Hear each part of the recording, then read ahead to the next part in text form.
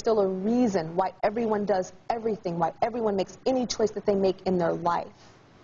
And that's why you're here. Because there's a reason, there's a reason why I do this talk show. There's a reason why I broke up with the last boyfriend, or he broke up with me, or whatever it may be. There's a reason for everything. In the audience right now is Sasha's boyfriend, Ian. And uh, where are you, Ian? Right. Hi, Ian. Hello.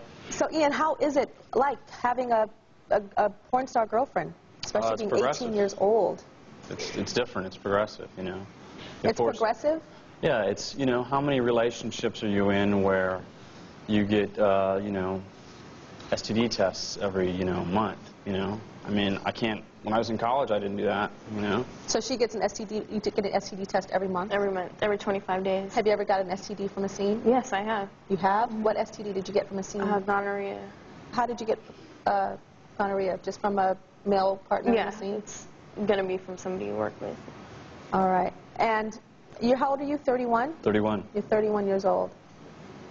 And she's 18. That's correct, yes. Anything sound weird in that to you?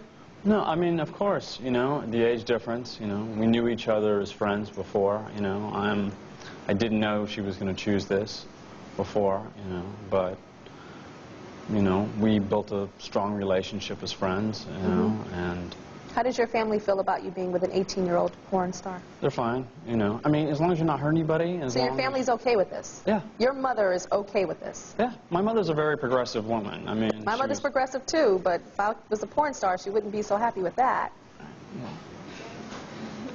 Everyone's different. Everyone has their different opinions. Most definitely.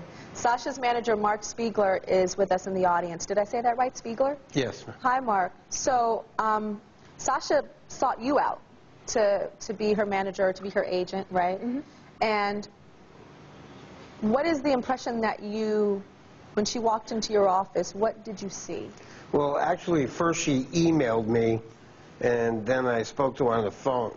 And as you, uh, you can see, she's highly intelligent, very mature for when you say about the age difference, like, you know, age does not always make you know a child or a woman. I mean, she's very mature for. If you spoke to her over the phone, you'd think she was 31 years old.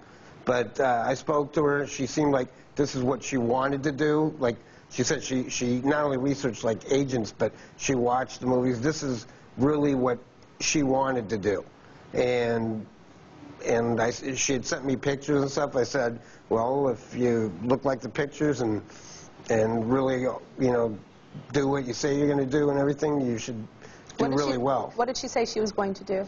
Well, she she sent me a list of what she was going to do, and she it was pretty much everything they do in this business. Sasha, what are your hopes for your future? Um, I would also like to direct in this business. Not only direct, I'd like to produce independent films. Independent pornography films? No, Independent? just- mainstream, yeah. Okay. And what else? Do you want children? I want children. I want to travel the world. I want to see. I want to explore. I want to write. I want to. I want to live life. Well, I hope the best for you. Thank I you. really, really do.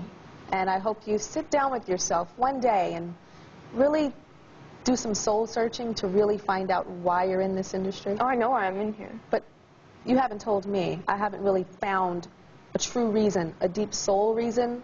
All this, oh, I want to save the world and all that and show sexual exploration. There's something deeper. I'll be right back.